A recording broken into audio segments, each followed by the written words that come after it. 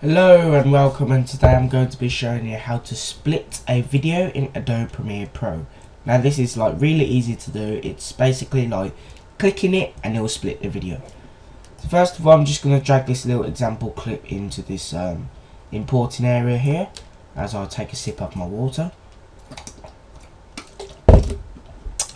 Once it's in the importing area you want to drag it down to the timeline here now what you want to do is you want to hit C on your keyboard and that brings up a little razor tool. It should look like a little blade and this all carries out at the end command blade. It splits the video, it cuts it in half. Who couldn't figure that out really?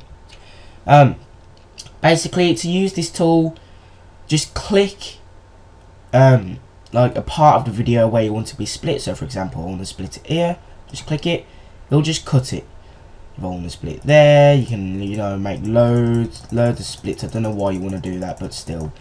Um, this is a deadly tool.